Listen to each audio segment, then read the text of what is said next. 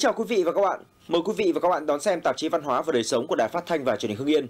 Trong chuyên mục tuần này có các nội dung: Mục môn mặt đời sống, mời quý vị và các bạn cùng khám phá nghề bán hàng online qua trang cá nhân, một trong những nghề hot hiện nay.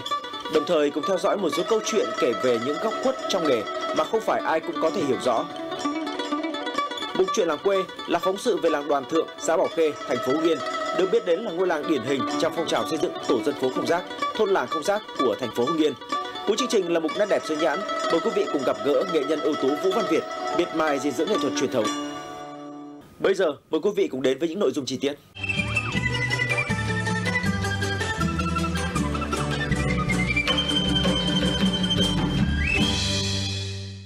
Thưa quý vị và các bạn, không cần mặt bằng, có thể không cần ôm hàng, thời gian có thể chủ động là những ưu điểm của bán hàng online. Đặc biệt sau 2 năm dịch Covid-19, mua hàng online trở thành thói quen mua sắm của nhiều người, thì việc nhiều người sử dụng các trang cá nhân để bán hàng online cũng phát triển mạnh. Đối với không ít người, việc đăng bán online trở thành việc làm thêm mang lại nguồn thu nhập đáng kể. Chị Vũ Lụa ở khu phố chợ gạo phường An Tảo hiện đang làm việc toàn thời gian cho một công ty tại huyện Kim Động. Nhưng chị vẫn tranh thủ mỗi buổi chiều về lấy hàng và ship hàng cho khách. Bán hàng online đã hơn 4 năm. Hiện nay, chị Lụa tập trung bán các đồ gia dụng và thực phẩm. Khách hàng của chị chủ yếu trong khu vực thành phố và các huyện lân cận. Em sẽ đăng bài vào giờ buổi sáng là tầm từ 9 giờ đến 10 giờ sáng và chiều sẽ là từ 2 giờ đến 3 giờ. Ship thì em sẽ ship vào 4 giờ đến 4 rưỡi mà em bắt đầu em sẽ đi ship ở thành phố. Là giáo viên mầm non, nhưng vài năm gần đây, chị Cao Thị Ngọc ở phường Quang Trung vẫn tranh thủ ngoài giờ đang bán hàng online tăng thêm thu nhập. Hàng ngày, chị lấy hình ảnh từ các đầu mối báo về đăng lên mạng. Khi có khách đặt hàng, chị lấy hàng kiểm tra chất lượng cẩn thận. Hết giờ làm việc, chị lại tranh thủ về nhà gói đơn và đi ship hàng cho khách. Mình ờ, lựa chọn công việc này được ờ, 5 năm rồi. Thì công việc này thì tạo cho mình thêm được một cái nguồn thu nữa. Hàng thì ờ, đa phần là hàng mình order. Khi nào mà hàng về mình phải kiểm tra chất lượng đầy đủ, tốt, đạt ừ, chuẩn thì mình mang ship cho khách. Rồi so với cả việc ờ, bán hàng truyền thống và giữa bán hàng online ấy, thì có nhiều thuận lợi. Thứ nhất là mình không mất cái mặt bằng, thứ hai là cái vốn mình không phải bỏ ra nhiều mà cái lợi nhuận mình thu lại cũng ừ, gọi là cũng đáng kể. Không thể phủ nhận, việc bán lẻ online từ các trang cá nhân là công việc làm thêm có thể giúp cho nhiều người tăng thêm thu nhập trong cuộc sống. Đây thực sự là một công việc đã và đang được nhiều người lựa chọn gắn bó, nhất là khoảng thời gian sau dịch Covid-19. Ngoài những người lựa chọn bán hàng online như một nghề làm thêm để tăng thu nhập, còn có rất nhiều người chọn bán hàng online là một trong những công việc chính, một kênh bán hàng hiệu quả mang lại nguồn lợi nhuận lớn. Là chủ sở hữu siêu thị mini tại thành phố Hưng Yên, có mặt tiền lớn, nhiều sản phẩm đa dạng phong phú. Nhưng chị Đàm Hà tại khu chung cư Tân Sáng vẫn bán hàng online. Thậm chí chị còn đầu tư khá chỉn chu cho kênh bán hàng online của mình. Hàng này về là mọi người có thể chơi được 5 6 tháng thoải mái này. Mình đã bắt đầu cái công việc kinh doanh à, online từ à, cách đây 8 năm và hiện tại bây giờ thì mình vừa là bán hàng trực tiếp cho khách vừa là kinh doanh online nữa. Khi kinh doanh online thì à, cái marketing của mình tốt hơn. À, mình à, sản phẩm của mình được đưa ra thị trường thì mọi người biết đến nhiều hơn. Trước đây thì mình mỗi một tháng mình bán được khoảng doanh thu lên được khoảng 1.000 sản phẩm chẳng hạn. Nhưng bây giờ mình có thêm kênh online nữa thì mình được khoảng từ 1.500 đến 1.700. Thậm chí là có những tháng thì tăng lên gấp đôi những sản phẩm đấy. Còn với chị Phương Oanh, chủ tiệm Phương Oanh Nail, việc bố trí thời gian quay những clip ngắn, chụp những bộ ảnh thật đẹp, giới thiệu sản phẩm là công việc hàng ngày được chị vô cùng chăm chút, cẩn thận. Bởi theo chị, kênh online hiện nay là một kênh giúp chị có thể giới thiệu, quảng bá cửa hàng của mình rất tốt. Thực ra kênh online rất quan trọng việc bán hàng của mình cũng như là ờ, không chỉ là bán hàng đâu nó sẽ giúp chúng ta xây dựng thương hiệu cá nhân xây dựng cái thương hiệu của cửa hàng và sẽ được rất nhiều người biết đến hơn mình rất chăm up các video và làm video và hình ảnh để ờ, mọi người có sự tương tác và quan tâm hơn hiện nay thì đến 80% lượng khách hàng đến từ online và dành cho cửa hàng của mình Trên thực tế, chỉ cần lướt qua một lượt các trang mạng xã hội phổ biến hiện nay như Facebook, Zalo, tỷ lệ các bài đăng bán online chiếm tới hơn 90%. Tất cả các mặt hàng từ thực phẩm, đồ uống tới hàng tiêu dùng đều được giao bán trên mạng. Có thể thấy, bán hàng online đã thực sự trở thành một xu hướng, một kênh bán hàng được khai thác mạnh hiện nay. Thực ra kênh online à, bán bây giờ là tốt hơn cả ở, ngồi tại chỗ ấy. nên là chúng tôi sẽ sẽ có một cái đầu đầu tư. Thứ nhất là cái gì mà đầu tư. Và cái thứ hai là sẽ có một chiến lược mới cho ờ, kinh doanh online. Mình cũng dành khá nhiều thời gian cho cái kênh online này. Đó là một kênh chiến lược cho mình. Nó đem lại lượng khách hàng ổn định và bền vững cho mình. Vì vậy nên là cái thời gian mình dành cho việc mà mình quay video mình lên ý tưởng mình viết kịch bản và mình uh, edit video hình ảnh uh, thì uh, hầu như ngày nào mình cũng phải làm cái việc đấy hiện tại thì có khá nhiều các kênh bán hàng online uh, như là Facebook này, Zalo uh, này là các kênh truyền thống nhưng mà bây giờ thì các bạn đang phát triển thêm về lĩnh vực về TikTok và YouTube thì uh, mình cũng đang hướng tới cái việc phát triển thêm về TikTok không thể phủ nhận những mặt tích cực mà hình thức bán hàng online bằng trang cá nhân cho nhiều người. Tuy nhiên, đằng sau đó có những câu chuyện buồn khiến người bán hàng phải chịu những thiệt hại về mặt kinh tế, thậm chí còn dẫn tới vi phạm pháp luật.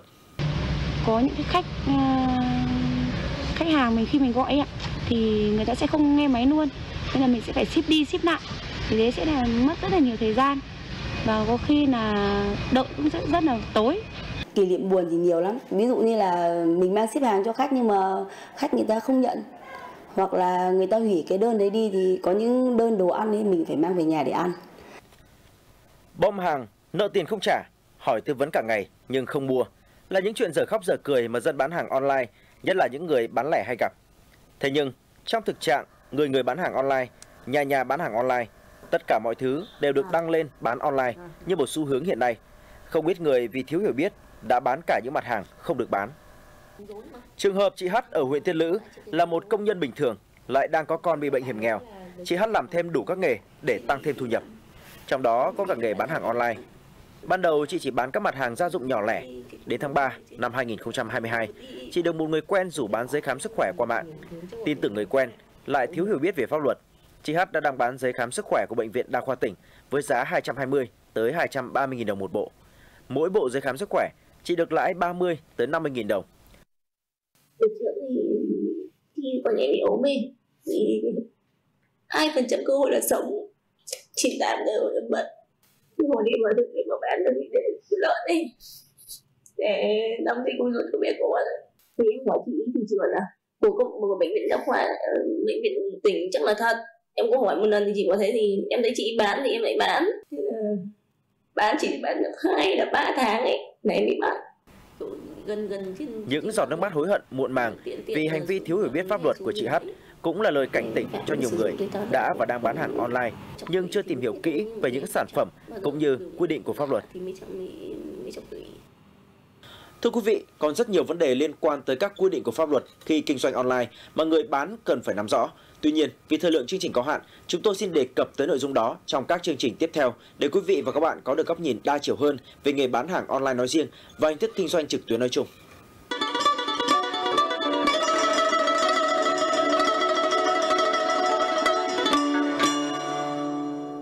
Làng Đoàn Thượng xã Bảo Khê, thành phố Nghiên được biết đến là ngôi làng điển hình trong phong trào xây dựng tổ dân phố không rác, thôn làng không rác của thành phố Hưng Yên. Câu chuyện làm sạch làng quê ở đây đã được thực hiện ra sao? Mời quý vị cùng theo dõi trong mục Chuyện làng quê. Đây là một tuyến đường ở làng Đoàn Thượng, xã Bảo Khê. Sau một năm thực hiện phong trào xây dựng tổ dân phố không rác, thôn làng không rác. Đường làng sạch sẽ, không khí trong lành. Điểm nổi bật hơn cả là mùa vụ năm nay không còn những con đường dâm dạ. Ở đây chúng tôi còn có đồng ruộng, ừ, hơn 30 mẫu dụng canh tác. Thế nhưng hiện nay là dơm rác ấy, là nhân dân phơi tại ngoài đồng và sau đó cuốn mang về. Chiều nay, bà Nguyễn Thị Chiến lại ra quét cổng, rồi quét luôn cả đường làng trước cửa nhà mình. Sạch nhà, sạch ngõ, sạch thôn. Hàng ngày thì cái, cái cổng nhà là phải quét sạch sẽ đến đấy, cứ phải quét hết. Cuối tuần thì cả xóm phải dọn, mỗi nhà một người là dọn dẹp sạch sẽ, không để một cái rác nào lại. Tôi sống thế này rất thoải mái và gọi là không ốm không đau là tốt. Đường làng Đoàn Thượng, nơi nào còn đất trống thì bà con trồng hoa 10 giờ, chỗ nào bê tông thì trồng hoa leo rộng, vừa làm đẹp nhà mình, vừa làm đẹp ngõ xóm.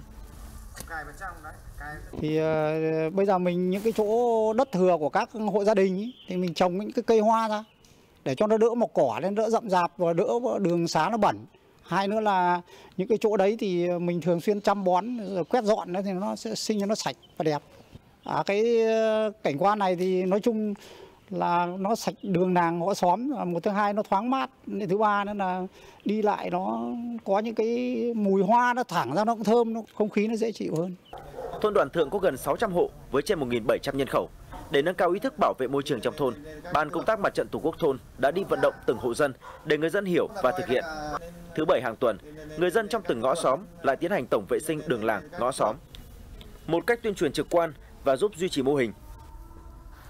Luôn luôn tức là thực hiện đổ rác đúng giờ. Thứ hai nữa là không thả rông vật nuôi ra đường. Nếu mà chết chóc thì mang chôn. Thứ ba nữa là thực hiện tức là không đốt rơm rác ở trong làng xóm và mọi gia đình đều cái thùng rác đựng. Đường làng sạch sẽ, cảnh quan xanh đẹp, không khí trong lành, đó là những gì người dân làng Đoàn Thượng đang được hưởng thụ sau một năm xây dựng làng không rác. Ai cũng thấy phấn khởi, tự hào về làng mình, cuộc sống trở lên tươi đẹp, sức khỏe người dân được đảm bảo. Bởi thế, chẳng ai còn muốn thấy rác trong làng như trước nữa.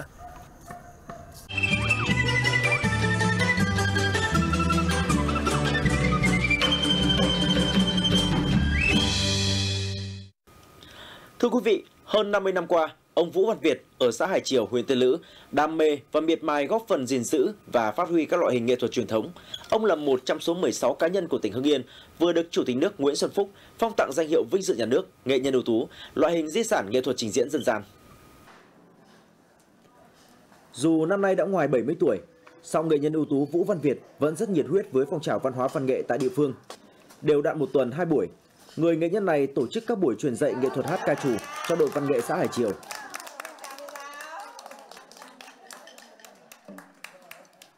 Ông Việt trực tiếp đánh trống trầu và hướng dẫn cho người chưa biết hát, hát đúng nhịp phách của ca trù. Tình yêu dân ca truyền thống đã ngấm vào máu ông từ khi còn trẻ.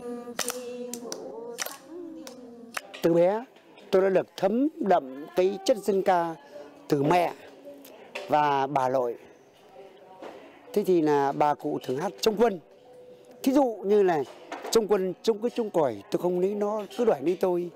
Khi lớn lên, tôi được nghe các cô các bác ở đội trèo hải trèo ở đằng sau nhà tập tham thích lắm mà các các nghệ sĩ của đoàn trèo Long Hưng cũ Hưng Yên đấy phải truyền dạy cho các cô các bác ở đoàn đội trèo mình thì bé được vào vẫn cứ ngồi hát như bình dương lẽ và tất cả những bài hát trèo mình rất ham sau khi rời quân ngũ, trở về địa phương, từ năm 1974, nghệ nhân ưu tú Vũ Văn Việt được bầu làm đội trưởng đội văn nghệ nhân dân xã Hải Triều, đi biểu diễn khắp nơi trong và ngoài tỉnh Hưng Yên. Ông Việt là người đa tài, có thể sáng tác trèo, chống quân, kịch nói và chơi thành thạo chống trầu trong nghệ thuật ca trù.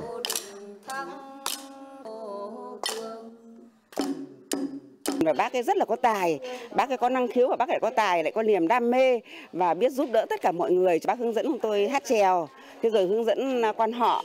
Thế sau đó thì bây giờ từ năm mà ca trù lại được phổ biến mà được UNESCO công nhận thì là chúng tôi đam mê rất là thích. Bác cái sáng tác có những cái đề tài phục vụ chính trị ca ngợi Đảng Bác Hồ, ca ngợi quê hương đất nước, đặc biệt là ca ngợi người dân xã Hải Triều.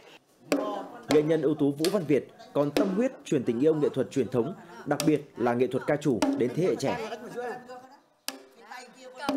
tôi muốn là đưa đưa cái cái cái ca trù cái chống quân ấy vào cái tầng lớp trẻ để cho các cháu gìn giữ sau này mình mất đi thì cách cái văn hóa mà phi vật thể ấy, nó còn gìn giữ được đi sau này cho con cháu và cho thế mai sau Nghệ nhân ưu tú Vũ Văn Việt đã sáng tác hàng chục bài hát trèo ca ngợi quê hương đất nước, biểu diễn trong các hội nghị, hội diễn, đồng thời tham gia nhiều buổi trình diễn nghệ thuật ca trù ở các tỉnh thành trên cả nước. Tuy tuổi cao, nhưng ông Việt vẫn đang miệt mài sáng tác và truyền dạy nghệ thuật truyền thống. Nghệ nhân ưu tú Vũ Văn Việt đã được Bộ Văn hóa Thể thao và Du lịch tặng kỷ niệm trương vì sự nghiệp văn hóa. Đặc biệt, danh hiệu vinh dự nhà nước nghệ nhân ưu tú là phần thưởng ghi nhận những công hiến xuất sắc của ông Vũ Văn Việt trong gìn giữ và phát huy di sản văn hóa phi vật thể của dân tộc. Những hình ảnh vừa rồi đã khép lại tạp chí Văn hóa và Đời sống số này của Đài Phát thanh và Truyền hình Hưng Yên. Cảm ơn sự quan tâm theo dõi của quý vị và các bạn. Kính chào tạm biệt và hẹn gặp lại.